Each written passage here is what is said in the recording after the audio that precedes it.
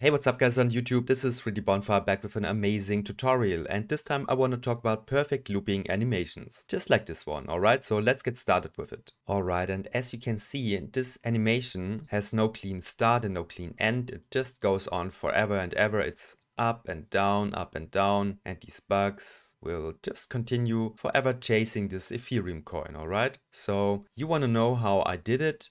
Uh, let me explain it to you. Okay, so I think we should just hop into Cinema 4D and learn some basic techniques how you can make your animation loop perfectly. Okay, one last thing before we start. If you want to have the full package of Make Your Animations Loop Part 1, 2 and 3. This stuff will be on my Patreon, alright. In addition, you will get assets, I will share more of them. And in April 2021, you get 25% Easter discount, alright. So if you want all of the good stuff, be sure to check this one, 3D Bonfire. Plus, you can follow me on Instagram, it's Markus Gonza 3D, and on Twitter, it's also Markus Gonza 3D. Okay, and by the way, these are all the assets I built just for this animation, okay? So if you want to make your stuff really unique, it's a good idea to sculpt your own creatures, your own assets. And I will also show this on Patreon, alright? So if you want to learn something about sculpting in Cinema 4D, just look how awesome this is looking. I also share this knowledge on my Patreon. Okay, enough of my Patreon, let's get started. And now I think it is the right time to go to Cinema 4D. Alright, let's do it. Alright guys, finally in Cinema 4D and you can see I already placed some of my assets from my latest animation. If you want to have them and even more, you know already the place for it. But you can totally follow along this training without these assets, okay? So in case of this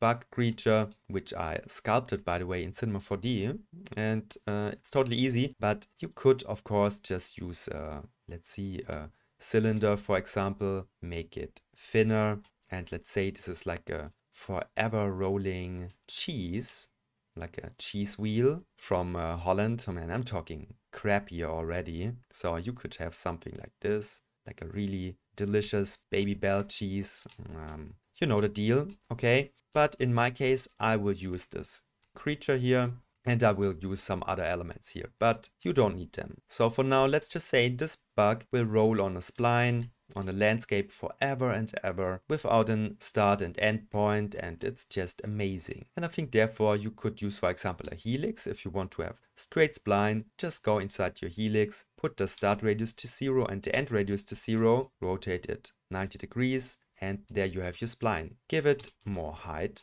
for example 1500 so this will be 15 meters and I think this will be a good distance for our animation now I would say go to my bug and you can see this one comes with nested nulls. So this is my poly objects here. They are in a null and in the same position there is another null. So I can just be more precise with my animation. Sometimes you want to have that to just be more precise with your with your keyframes. So just believe me, it's awesome.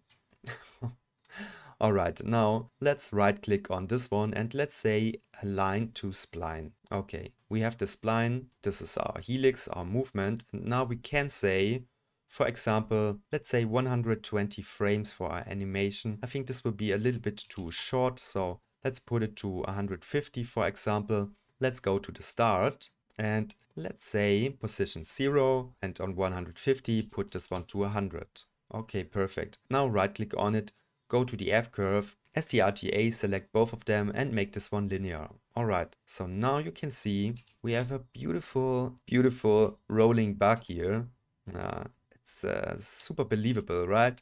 So I think we need to enhance this. I guess what this animation really is lacking is some rolling parameters, some rotation, and maybe a street, for example. So I guess first let's build a street. So I will just duplicate the helix, get a profile into my scene. Let's rotate it 90 and I guess this will be something like 150 and 2. Mess this one up. Do it the other way around. That looks better. Okay, so now give me a sweep. Put both of them inside of it. And the sweep should be just a little bit down, right? Somewhere here. That looks way more believable. But now let's make this bug rotate, okay? And I guess you can put your rotation parameters here, but in my case, I just want to have it in the child null, all right? It's not really important in that case, but uh, I just do it like that. So put this one to zero, go to 150, And let's say, not sure, so put this one to a thousand, for example. Let's check the animation. Alright, so now you can see this one doesn't really feel believable, right? I mean, this looks like uh, uh, really crazy. So I guess this number is just not high enough. And of course, this one should also be linear, so go inside of it. STRGA to select both of them, make this one linear. Alright, it's better, but of course, this animation parameter is not high enough. So let's try something like 2000. Let's see if this one is more believable. Hmm, let's see. Maybe it helps to see the lines here. No, that didn't help. Let's just see. I think it's still sliding, so I guess this parameter needs to be still higher. So let's say this one goes up to 2500. Check it once more. That feels more believable. All right, almost. Let me try to put this one to 3000 just to see if this will make it even better. This seems to be something like the magic number, okay. So I will just stick to 3000 here. But now how we can frame this, that this one will be really looping in your camera, right? So I guess we want to put a null here. Let's go to zero. All right, the null is starting here. Okay, so I would just say this null will be on zero here. And after 150, this one will be 1500, right? Of course, this is 1500 because this is the length of our spline and the camera also needs to travel the same distance. Okay, so now you can just grab a camera, put it inside of the null. Let's go over there. Let's frame this one. And now Okay, I'm losing it a little bit here, so, and of course this is once again because of our spline interpolation. Okay, perfect. Now you can see the camera is always aligned to this bug and it's going on and on forever. Okay, what just is a little bit distracting here is that the last frame we don't have any street again and also in the beginning. So I guess we just want to duplicate the street, put this one to 1500, all right, and another one to minus 1500. Now, if I will check this one, this will go on forever. Let's see. Yes, that is perfect. And you will think this is a perfect looping animation, but you are wrong because the last frame and the first one are, oh, they are not the same. Oh, they should be the same, right? If you hold down Shift F, you go to the first one, Shift G, you go to the last one, and you can see I'm jumping from frame 0 to frame 150, but these ones are not the same. And I think the problem is just that our rotation parameter needs to be in increments of 360, right? So if you want to have a repeating starting and end position, of course, this number here, where is it? Where is it? This one needs to be in increments of 360, right? So, so if we put this one to 360, you can see we have one loop of our animation of the rotation. And now the last one and the first one are the same, right? But we already recognize that we need to have a higher rotation parameter, something around 3000, right? So maybe we just click here, say times 9, and we get a clean increment of 360. And now the last one and the first one are the same frames.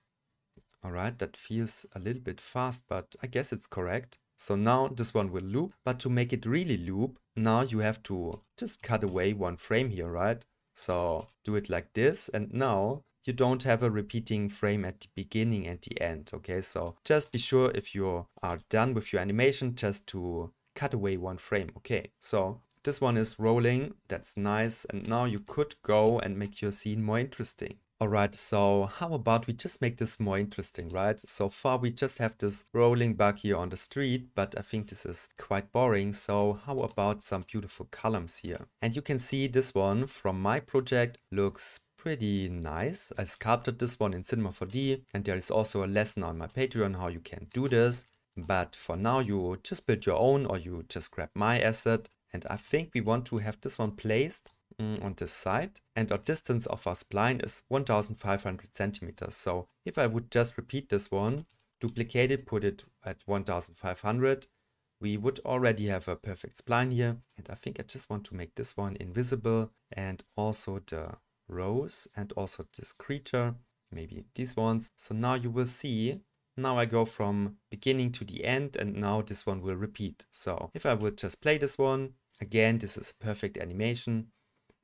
And here is our column again. That's nice. And it is great because it is looping perfectly. But I think I just want to have this one in smaller increments and I think I want to make my life a little bit more easy by holding down Alt and just give me a cloner here. Let's set this one to linear and I think I want to set this one to render instances so it will be faster in the calculation and no position in the y-axis but in the x-axis and I think I want to have something like 150 for example. Mm, no, that seems to be too small so put it to 300 and I guess we want to have something like 5 iterations here and now the distance should always match up and oh I need one more so if I hold down Shift F, you can see this is the first frame and the last one. And this one doesn't line up because I can see I have some value inside this one. So once again, you can see this is lining up perfectly. And when I would just play this one, this will be amazing. Okay, pretty sweet. And now you can make this more and more complex and uh, the sky is the limit. So let me just show you once more my animation.